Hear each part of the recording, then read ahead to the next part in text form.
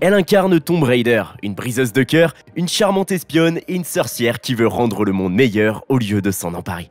Nous allons aujourd'hui parler des hauts et des bas de la vie de la mondialement connue Angelina Jolie.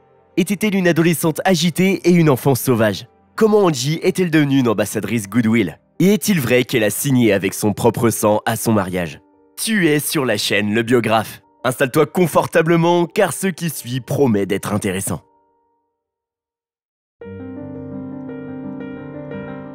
Angelina Jolie Voigt est née le 4 juin 1975 à Los Angeles, en Californie. Ses parents sont les acteurs John Voight et Marceline Bertrand. Elle est le second enfant du couple. Sa naissance a rendu John plus heureux que sa nomination aux Oscars et que tous les succès des films dans lesquels il jouait à cette époque.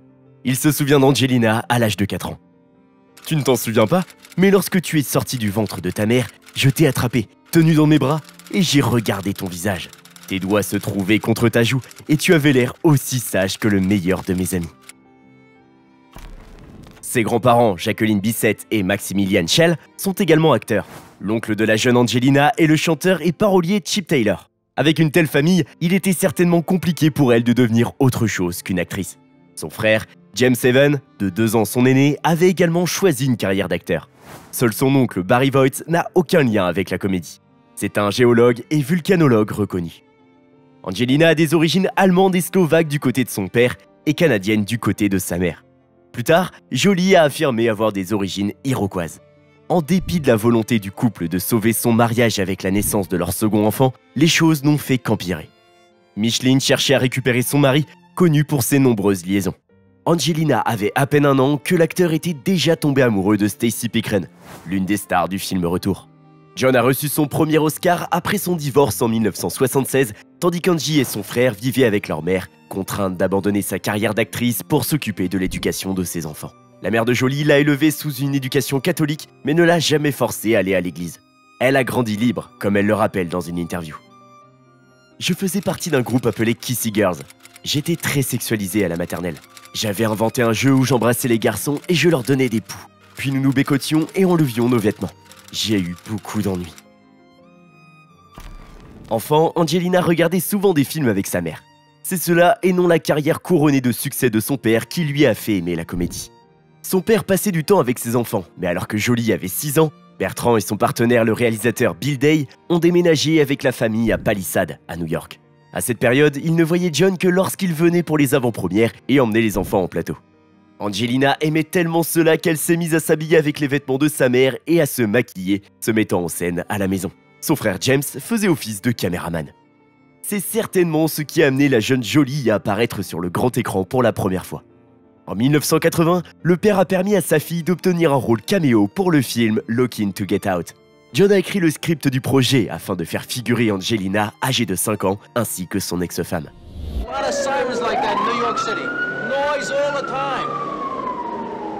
why they have the tall buildings in New York City. All the time. Daddy goes there, huh? Your daddy's a... He's a nice man. You are too. La famille a ainsi étonnamment été réunie à l'écran, mais le film n'est sorti que deux ans plus tard. C'est à cette époque que le caractère explosif d'Angie est ressorti. Elle ne s'entendait pas avec les animaux domestiques. Dans sa période rock'n'roll, l'actrice a mis à quel point elle était une enfant terrible. Elle a un jour emmené son hamster sous la douche. Il est tombé et il en est mort. Mais il y a eu d'autres pauvres victimes. J'ai eu un chien et j'ai fini par le battre. Il est tombé malade et j'en ai blessé tellement. Je ne suis simplement pas bonne envers les animaux. J'ai un lapin qui est mort aussi. Une cage lui est tombée dessus. Elle a ensuite eu un lézard appelé Vladimir et un serpent appelé Harry Dean Stanton, en référence au célèbre acteur des années 70. Elle était très fan de Mr. Spock. Quelques années plus tard, la famille retournait à Los Angeles et Jolie savait qu'elle voulait entamer une carrière d'actrice. Avec le temps, elle a commencé à se lasser du costume d'actrice. Elle a donc laissé la comédie et souhaitait devenir directrice funéraire suivant des cours d'embaumement à domicile. Elle avait été impressionnée par les funérailles de son grand-père où elle avait été surprise par la foule bouleversée. Angie aperçut les funérailles comme une ode à la vie de la personne plutôt qu'un sinistre adieu. Je n'ai pas peur de la mort, ce qui fait que les gens me trouvent sinistre, alors qu'en fait, je suis positive.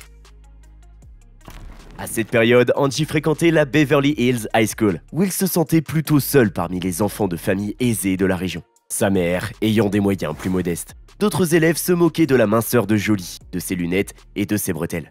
Elle n'y a étudié que deux ans. Ses débuts dans le mannequinat, à la demande de sa mère, ont été un échec.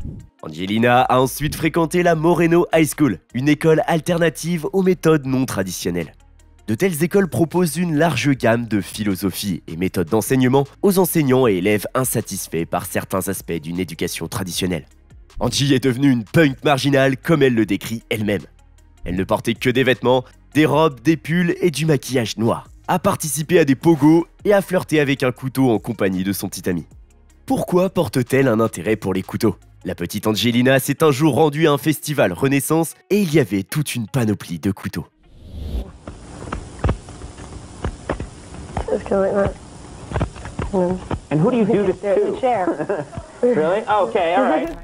Elle leur a trouvé quelque chose de très beau et traditionnel, car chaque pays possède ses armes et ses lames. Elle a donc commencé à collectionner les couteaux et les armes très jeune. Cet intérêt va jouer un très mauvais tour à Jolie. Après un moment d'inattention, une ambulance sauvera la vie d'Angelina. Quelques mois plus tard, Angelina se trouvait dans le bureau d'un psychothérapeute. Il semblerait qu'elle ait été touchée par des troubles psychotiques. Jolie a obtenu son diplôme et a prévu de reprendre les cours de théâtre. Plus tard, en 2004, elle se souvient de cette période. Je suis et serai toujours dans mon cœur une enfant avec des tatouages. Marceline voulait protéger sa fille de ses pulsions destructrices. Angelina s'est donc rendue au Listenberg Theater Institute où sa mère avait été étudiée. Lee Strasberg était un réalisateur culte et un professeur de théâtre qui a enseigné à des légendes telles que James Dean, Paul Newman, Al Pacino, Robert De Niro et Marilyn Monroe. Angelina a étudié les bases de la comédie pendant deux ans et a participé à différents projets. Mais étant donné que selon le système Stanislavski, elle manquait d'expérience pour jouer, l'actrice a quitté l'institut de formation.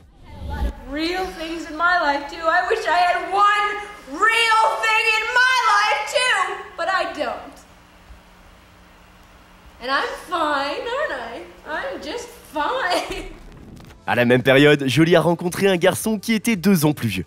Cela ne semblait pas sérieux. Mais Angie avait 14 ans et lui 16. Elle l'a emmené à la maison et le considérait comme son grand amour. Et ils ont rapidement commencé à coucher ensemble. Marceline a permis au couple de vivre ensemble à la maison, car elle avait compris que son veto ne ferait que pousser Angelina à chercher une autre porte de sortie et qu'elle pourrait quitter la maison.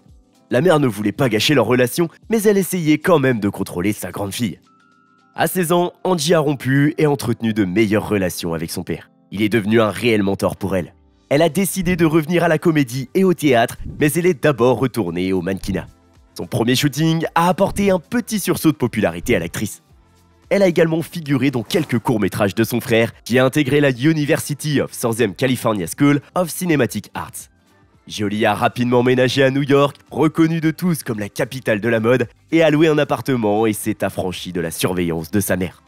Elle a commencé à recevoir plus de propositions. Angelina est apparue dans différents clips musicaux pour Lenny Kravitz, The Lemonheads et Meatloaf.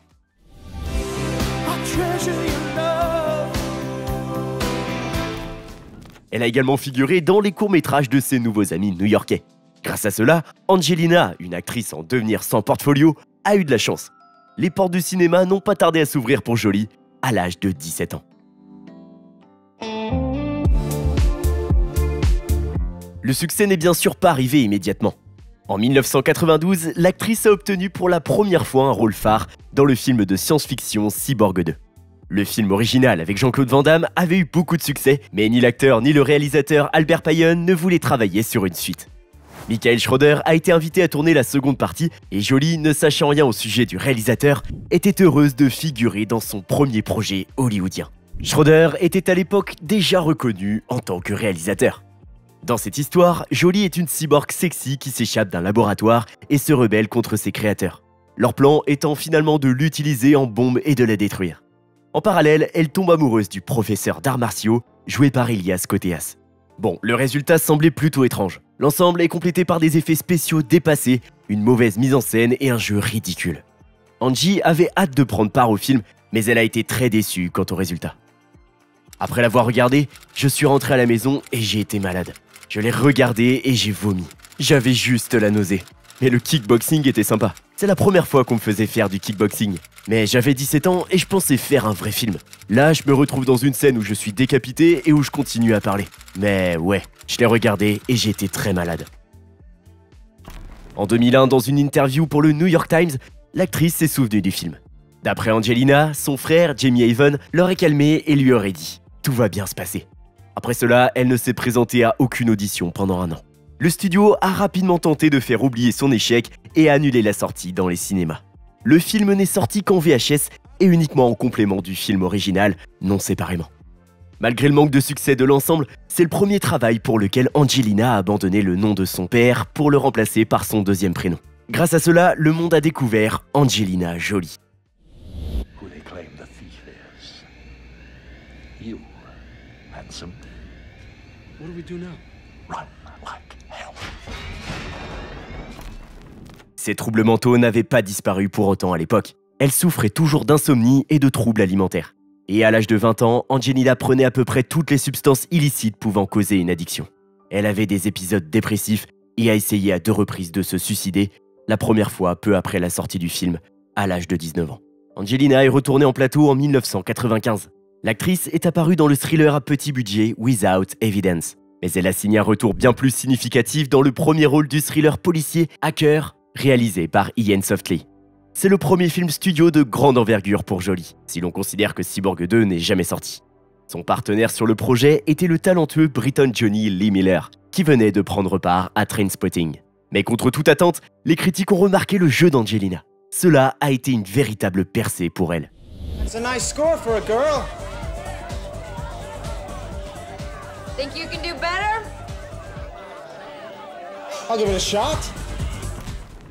La préparation pour le film a duré trois semaines et comprenait des visites de véritables repères de hackers où les acteurs pouvaient voir comment étaient piratés des serveurs. Le piratage était montré en utilisant de véritables prises. Le réalisateur considérait que les graphiques ne rendaient pas la scène naturelle. Les acteurs ont pris des leçons ensemble et ont rencontré des génies de l'informatique tels que Tristan Lewis, Kevin Mitnick et Nicolas Jarecki. Même Quentin Tarantino lui-même a été envisagé pour l'un des rôles. Une liaison a fini par naître entre Miller et Angelina Jolie. C'est la raison pour laquelle leurs scènes conjointes ont l'air particulièrement réelles. Toutefois, à l'issue du tournage, l'actrice a laissé tomber sa relation avec Johnny. Mais il avait décidé qu'Angie méritait qu'on lui fasse la cour et l'a longtemps suivi partout. A noter que MJM a créé un site pour le film contenant des informations sur les acteurs. Et il a été piraté avant la première du film par un groupe appelé Internet Liberation Friends. Mais même une telle publicité n'a pas permis de faire de Hacker un succès au box-office et le film a été un échec. Le film est devenu un classique avec le temps. Jolie n'a pas réagi aussi brutalement à l'échec que précédemment et a continué à passer des auditions. Le projet suivant a été la comédie romantique Love is All There Is, un remake de Roméo et Juliette qui se déroule dans le Bronx. C'est l'une des deux adaptations de Roméo et Juliette sorties en 1996. L'autre était un film de Baz Luhrmann qui a propulsé la carrière de Léo DiCaprio. Angelina interprète le premier rôle de Love is All There Is, et elle ne s'en est pas trop mal tirée. Mais les critiques ont été sévères envers elle. So, Ma, can I drop you or what? No, no, no. It- It's not far. I'll walk. Okay.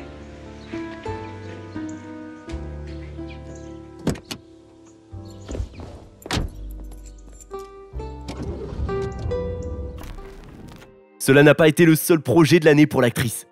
Jolie est rapidement apparue dans le film More of Moon, qui était assez fade. Mais le drame pour adolescents Foxfire, tiré du livre de Joyce Carol Oates, Foxfire, confession d'un gang de filles, a permis à l'actrice de se révéler. Elle y tient le rôle de l'indépendante et rebelle Margaret Legs Sadowski. L'histoire suit l'évolution de quatre adolescentes qui font face aux difficultés des premiers amours et aux déceptions ensemble. Le personnage d'Angie rassemble les filles contre un professeur qui les harcèle sexuellement. Selon l'actrice, elle a l'habitude de s'abandonner complètement à ses personnages, raison pour laquelle elle a tissé un lien fort avec la fille rebelle en jean et veste en cuir.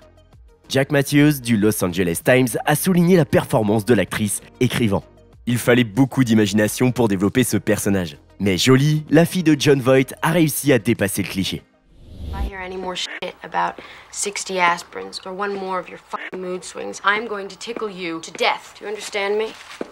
If I hear any more shit about 60 aspirins or one more of your fucking mood swings, I'm going to tickle you to death. Do you understand me? Huh? Yes, ma'am. Come here. Angelina n'a même pas remarqué qu'elle était tombée amoureuse de sa partenaire à l'écran au cours du tournage, Jenny Shimizu, qui interprète le rôle de Goldie. Jenny est ouvertement lesbienne et dix ans plus tard, elle a déclaré qu'elles avaient eu une très brève liaison. D'une manière ou d'une autre, au bout de quelques mois, Angelina s'est remise en couple avec Johnny Miller, mettant fin aux rumeurs concernant leur liaison. Don't worry, you're not my type. Oh? Les choses étaient très sérieuses et les acteurs ont même décidé de se remarier. Mais il n'y a pas eu un grand mariage en blanc, mais plutôt un petit et modeste. Les seuls invités étaient sa mère et l'un des amis du marié. Elle portait un pantalon en lycra noir et un t-shirt portant le nom de Miller, inscrit avec le sang de Jolie. Au lieu de porter les traditionnels anneaux, le couple s'est fait des piercings aux doigts et se sont jurés un amour éternel par le sang. L'actrice en a parlé au New York Times. C'est ton mari, tu t'apprêtes à l'épouser. Tu peux bien faire un petit sacrifice pour que ce soit vraiment spécial. C'est la première union des deux acteurs. Elle avait 20 ans et il en avait 22. Au moment de la demande, ils étaient remplis d'interrogations. Miller devait rester en Angleterre tandis que Jolie habitait à Los Angeles. Angelina ne voulait donc pas rester fiancée longtemps. Ils ont décidé d'organiser rapidement un petit mariage. L'amour éternel du couple ne dura pourtant pas très longtemps. Une sombre période a suivi le mariage de Jolie. Angelina s'est vue plus tard offrir un rôle dans le thriller policier dirigé par Andy Wilson, Le Damné. Le partenaire de l'actrice à l'écran était David Duchovny, qui gagnait en popularité. Il surfait sur une vague de succès suite à X-Files et c'était sa première fois en tant que tête d'affiche sur un film. Mais le réalisateur Andy Wilson n'a pas aidé les acteurs à faire de leur mieux. Le tournage a commencé en 1995, mais le public n'a pas apprécié les scènes tests. Il y avait des facilités narratives et des failles dans le scénario. Un tel film ne pouvait pas sortir et il a été envoyé en post-production pendant près de deux ans. Le studio a échoué au box-office et le tournage supplémentaire a explosé le budget. L'addition devait s'élever à plus de 12 millions de dollars. Le studio a finalement décidé d'attirer les spectateurs en salle avec de la nudité assumée et a fait tourner deux scènes érotiques à Jolie et Duchovny. La bande-annonce du film était essentiellement constituée de ces scènes. Bon, ces scènes ont malgré tout été coupées du film en lui-même. Plus tard, Angie a confirmé avoir filmé ces scènes pour les archives personnelles du réalisateur. There's your fee right there. 10,000. Ray, I didn't do it for the money. Oh, shy. Tu ne peux qu'imaginer la déception du public et des critiques qui sont venus voir le film et en ont découvert un tout autre. Naturellement, ils ont submergé le damé de critiques négatives. C'est dommage pour David qui a perdu sa bonne étoile. Selon lui, jouer dans ce film était une erreur, étant donné qu'il n'avait même pas un script complet. À la même période, la vie personnelle de l'actrice a connu des remous. Angelina a divorcé de Lee Miller après un an de mariage, et bien qu'ils aient réussi à conserver des relations amicales, cela est venu s'ajouter à une série d'échecs professionnels. L'actrice a de nouveau plongé dans la dépression, s'apprêtait à arrêter la comédie et a trouvé refuge dans les substances addictives. Elle était méconnaissable et a voulu se suicider en tentant d'engager un tueur.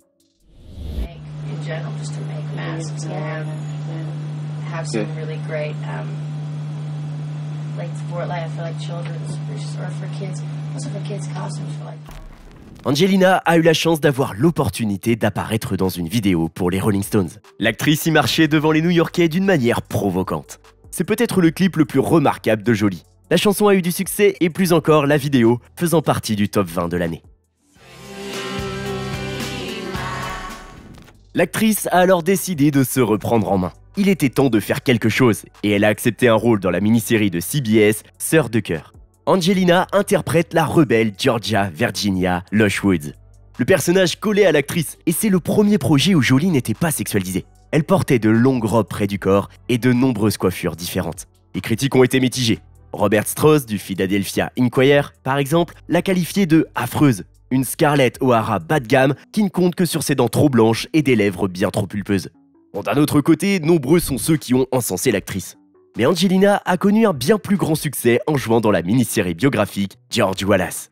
Elle jouait le rôle de la seconde femme de George, puis de la première dame d'Alabama, Cornelia Wallace. Honey. No. No. You look great. And next There's up, nothing left you need to prove. with Patsy Cline.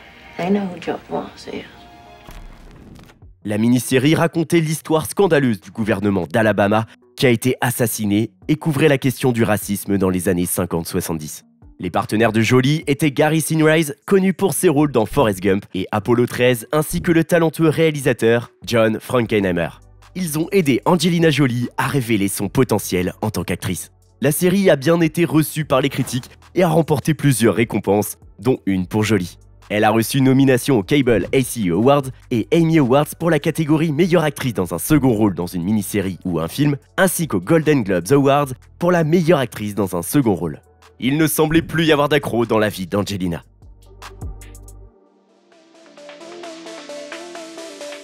Les producteurs ont immédiatement réagi à un tel succès et ont invité Angie sur HBO.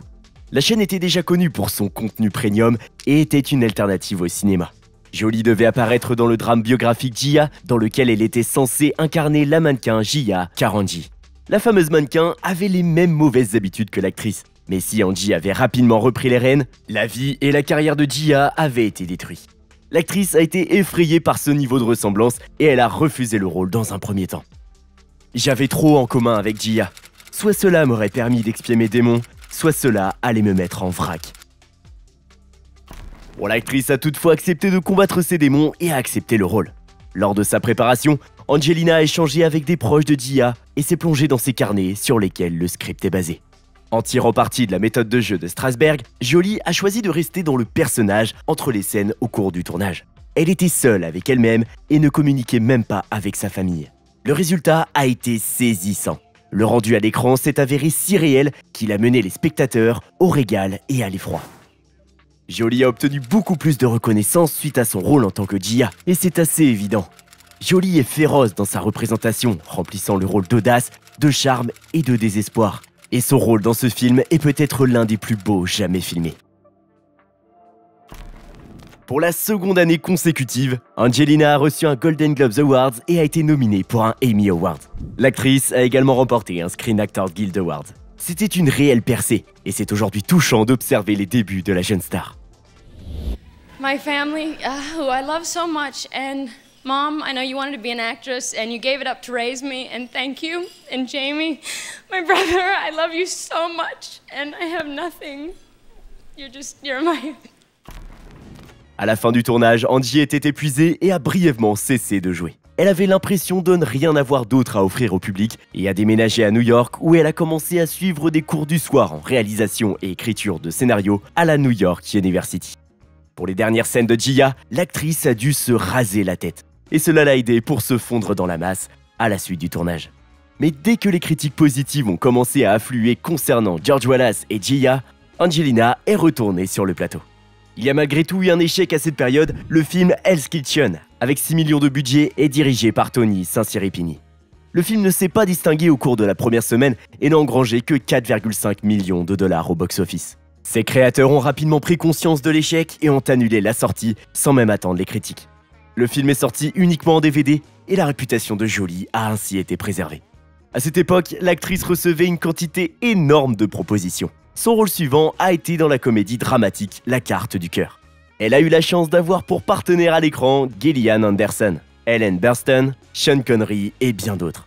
Les critiques ont à nouveau encensé le film, mais surtout la performance de Jolie. Peter Stack du San Francisco Chronicle a écrit Jolie, survolant un rôle très bien écrit, est sensationnel, tandis que nous découvrons les réalités qu'elle met en jeu. L'actrice a remporté le Breakthrough Performance Awards du National Board of Review. Le réalisateur Mac Newell, qui a rassemblé le casting de la comédie dramatique Les Aiguilleurs, a remarqué son succès et invité Angelina à rejoindre le groupe composé de John Cusack, Billy Bob Thornton et Kate Blanchett. L'actrice a accepté et a interprété le rôle de la femme du personnage de Billy Bob Thornton. Qui aurait pu penser que cela aurait des conséquences? Certainement le manager des deux acteurs qui ne voulait pas les présenter l'un à l'autre, craignant qu'ils ne se rapprochent. Thornton avait été marié, divorcé et récemment fiancé à Laura Dern. Au cours du tournage, forcément, Angie et Billy Bob se sont rapprochés en jouant le couple marié. Ils se sont mis à passer beaucoup de temps ensemble et ont partagé des dîners. Mais tout le monde n'avait pas remarqué leur connexion, uniquement leurs échanges amicaux. On aurait dit un couple, mais le réalisateur du film pensait qu'il jouait simplement bien la comédie.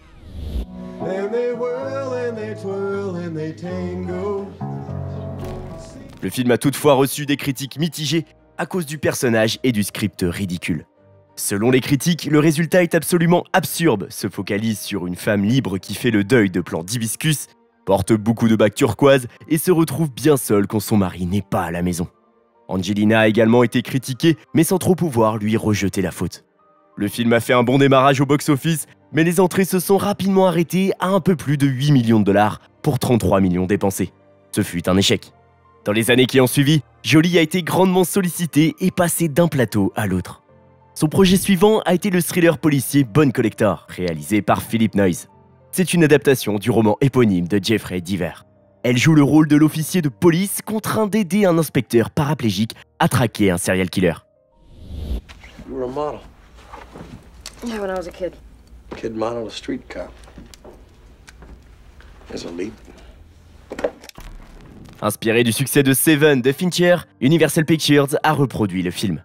Ce genre-là était plus populaire que jamais, ce qui a certainement aidé le médiocre Bone Collector à engranger 150 millions de dollars au box-office. Le public et les critiques ont eu des avis mitigés, mais cela reste le premier succès d'Angelina au box-office. Le second travail de l'actrice sorti cette même année en 1999 est le drame psychologique Une vie volée. Ils ont commencé à travailler sur le film pratiquement 7 ans plus tôt, lorsque la jeune et talentueuse Winona Ryder a lu les mémoires de l'écrivaine Susanna Kaysen et s'est mise à rêver de l'adapter en film. Mais le studio Columbia Pictures, qui en possédait les droits, n'était pas pressé d'investir dans le projet.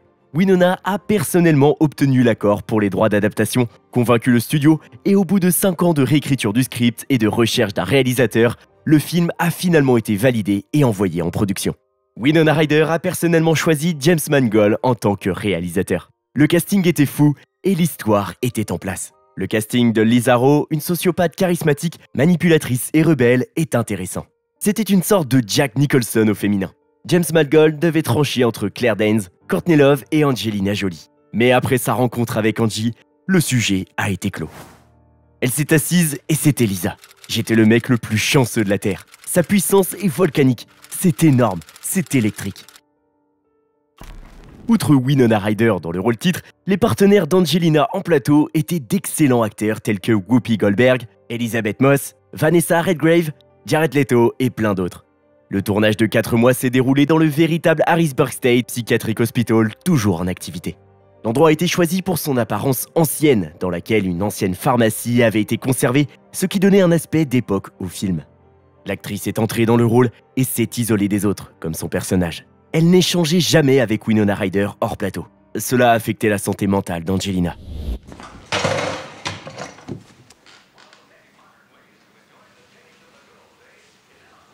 Can? Go ahead. À la fin du tournage, elle était épuisée et a fait une dépression nerveuse.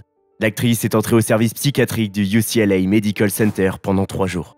Hélas, malgré les efforts de Winona Ryder, le film a échoué au box-office à cause de ses 40 millions de dollars de budget et du sujet qu'il abordait.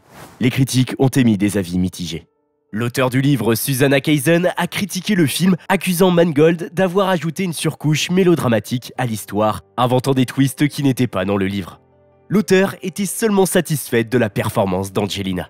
Les critiques ont également souligné que l'actrice avait un script médiocre. Le pire pour Winona, c'était la fin de cette histoire. Le film a été présenté aux Oscars dans une seule catégorie, l'Academy Best Awards de la meilleure actrice dans un second rôle pour Angelina Jolie, et elle l'a remporté. Pour son rôle, Angie a reçu son troisième Golden Globes Award, un second Screen Actors Guild Award et l'Academy Awards de la meilleure actrice dans un second rôle pour sa première nomination. C'est peut-être le sommet de la gloire et du succès pour Jolie. I'm surprised nobody's ever fainted up here. Oh, I'm, I'm in shock, and I'm so in love with my brother right now. he just held me and said he loved me, and I know he's so happy for me. And um, thank you for that.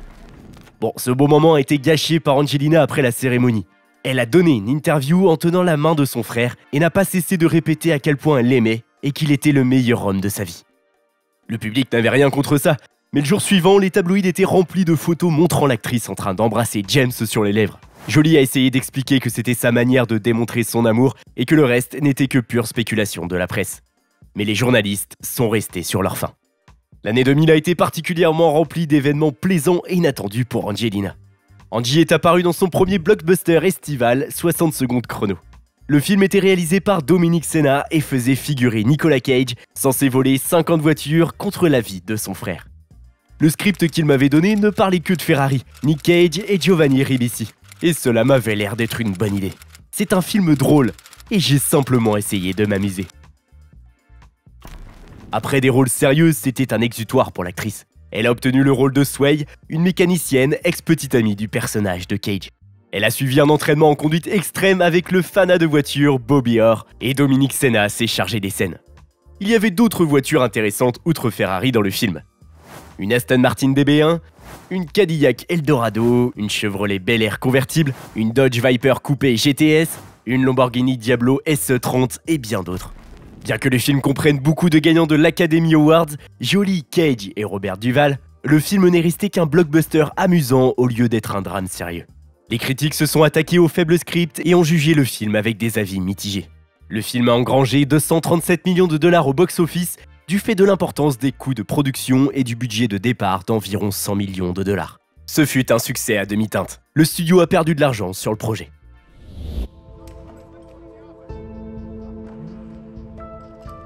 Service department's over there. Can I talk to you? Jolie a ensuite pris part à un scandale médiatique. Cela s'est produit sur le plateau du thriller érotique Péché originel. Antonio Banderas était son partenaire en plateau. Angelina avait accepté de participer à des scènes de sexe explicites impliquant qu'elle soit nue, et Antonio était consentant. Au final, le résultat était si explicite que le réalisateur Michael Crawford a dû couper toutes les scènes de sexe. Apprenant cela, les journalistes ont répandu la rumeur qu'Angelina Jolie et Antonio Banderas avaient vraiment fait l'amour pour la scène. La presse a publié article sur article concernant la romance secrète entre les acteurs. Même la femme de Banderas, Melanie Griffith, n'a pas pu échapper aux questions à ce sujet. Mais les doutes qu'aurait pu avoir Melanie Griffith concernant les scènes de sexe entre son mari et Angelina ont rapidement disparu quand Jolie a confirmé sa relation avec Billy Bob Thornton, déjà connu du public. Malgré les coupures, le film s'est avéré être bon. De nombreux spectateurs considèrent les scènes comme pratiquement pornographiques. Le film a échoué au box-office et Jolie a été nominée pour le Golden Raspberry Awards de la pire actrice. Not the worst at all. Only not what I was expecting. If my deception has altered your intentions and if you are not satisfied in any way, No, no, no, no, it isn't that. I am determined to make my way back to my home in Delaware. Mais les relations personnelles de l'actrice sont revenues sur le devant de la scène. Elle a pris part à un triangle amoureux entre Billy Bob Thornton et sa fiancée Laura Dern. Alors que Dern était en tournage, Thornton a quitté la maison sans explication et s'est mis à l'éviter. Elle a fini par découvrir que son fiancé avait épousé Jolie. J'ai quitté la maison pour travailler sur un film et pendant mon absence, mon copain s'est marié et je n'ai plus jamais entendu parler de lui. C'est une mort subite, il n'y a eu de sentiment de faim ou de manque pour personne. Bien que les chemins de Laura Dern et Angelina Jolie ne se soient jamais croisés lors de leur triangle amoureux, elles ont passé du temps ensemble pendant leur enfance. Les deux actrices sont des enfants de stars hollywoodiennes. Le père de Laura, Bruce Dern, se rappelle avoir travaillé avec le père d'Angelina quelques années auparavant. John Voight est un ami à moi et je me rappelle que Laura avait fait du babysitting pour Angie une nuit alors qu'elle avait 2 ans et Laura environ 8. Car John et moi nous étions en plein travail sur retour. Ils résidaient dans la maison du réalisateur Al Ashby. Ils étaient tous les deux en plateau et ils ont demandé à Laura de surveiller Angie étant donné qu'elle était la plus âgée. Le couple s'est marié le 5 mai 2000, mais il est bien moins remarquable que le précédent. La cérémonie de mariage à 200 dollars s'est déroulée dans une petite église de Las Vegas et seuls les témoins étaient invités. Des questions se sont posées concernant Thornton, dont c'était le quatrième mariage, mais le couple était certain de leur amour sincère et durable. Billy a affirmé que 5 ans plus tard, leur mariage serait toujours aussi fort. Thornton n'était pas seulement un acteur, c'est également un musicien talentueux. Il a dédié une chanson à Angelina après leur mariage.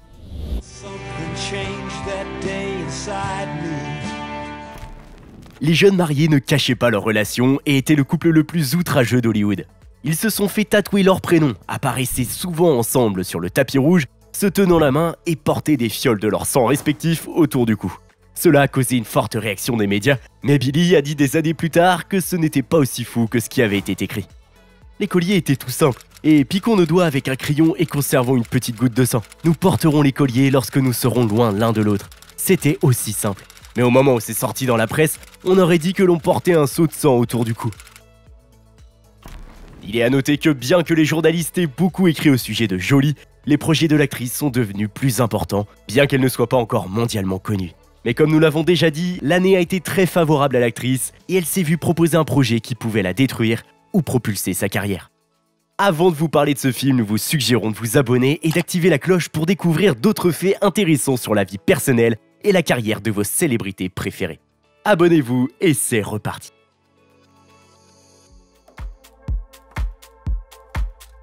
Angelina a décroché le rôle titre de l'adaptation en film du jeu vidéo d'aventure Lara Croft Tomb Raider. Le développement a été mené par plusieurs pays à la fois, l'Angleterre, le Japon et l'Allemagne. Simon West dirigeait ce projet international. Il a insisté sur la candidature de Jolie pour le rôle. Selon lui, l'actrice était le sosie de Lara Croft. Angie n'était pas forcément ravie d'une telle ressemblance et ne partageait pas le sex appeal exagéré du personnage. De plus, son ex-mari Johnny Lee Miller jouait beaucoup à ce jeu lorsqu'ils étaient ensemble. Mais le réalisateur a tenu bon concernant la candidature d'Angelina et lui a promis qu'outre les ressemblances extérieures, son personnage se révélerait dans le film. Elle allait essayer de nombreuses nouvelles activités. Cela aiderait l'actrice à dévoiler une nouvelle facette d'elle-même. Angelina a fini par accepter une fois que Simon West lui a dit où allait se dérouler le film. Elle rêvait de visiter différentes parties du monde et a décidé de ne pas manquer l'opportunité de visiter l'Islande, l'Angleterre et le Cambodge. De plus, le père de l'actrice, John Voight, qui jouait le rôle de Richard Croft, le père de Lara, allait également jouer dans ce film. Le directeur pensait prendre le père de l'actrice pour le rôle du père du personnage, mais il avait un doute car il ne savait pas comment ils allaient se comporter. Angelina a aimé l'idée et a poussé la candidature de son père. Il y a eu ainsi une belle alchimie entre eux à l'écran. It's a very special thing because our relationship is very, very similar to these two people. They have similar loves. They have similar sense of adventure and want to set things right. Curious about life, curious about the past. De nos jours, s'entraîner avant un tournage est monnaie courante pour de nombreux acteurs. Mais c'était la première fois pour Angie. L'actrice a suivi beaucoup d'entraînement physique, a appris à se battre et à tirer et a fait du yoga. Ces activités l'aident à se sentir plus calme que jamais. Elle a dit ne pas avoir fait de sport depuis des années, mais le projet l'a aidé à se remettre en forme. Angelina est gauchère et les réalisateurs ont dû créer un pistolet spécialement pour elle, facile à recharger et à utiliser de la main gauche. Elle a appris à faire tourner des pistolets et à inspirer son père. And here I see my daughter standing on a column that's been broken down. Take her guns out and flip them in the air.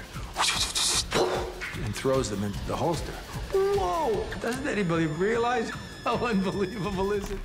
Le tournage a duré 6 mois et Angelina a réalisé la plupart des cascades sans l'aide de cascadeuses. Mais dans l'une des premières scènes de tir, lorsque Laura se pend à une poutre chez elle, l'actrice est tombée et s'est foulée la cheville.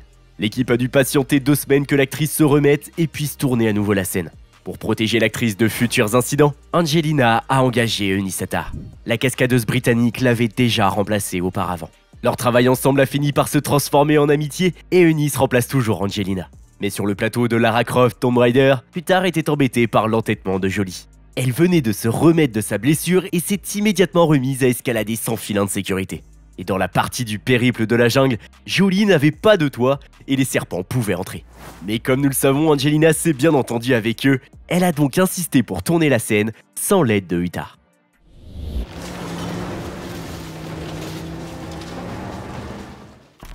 L'antagoniste du personnage de Jolie était joué par Daniel Craig, qui interprète une ancienne connaissance et un chasseur de trésors rival. C'est drôle que Daniel le Britannique joue le rôle d'un Américain, tandis qu'Angelina a joué le rôle de Lara Croft, Britannique. Au fait, si vous avez envie d'en apprendre plus sur la vie du fameux agent secret britannique James Bond ou du charismatique inspecteur Benoît Blanc, écrivez-le en commentaire. Nous adorerions vous raconter les hauts et les bas de la carrière de Daniel Craig.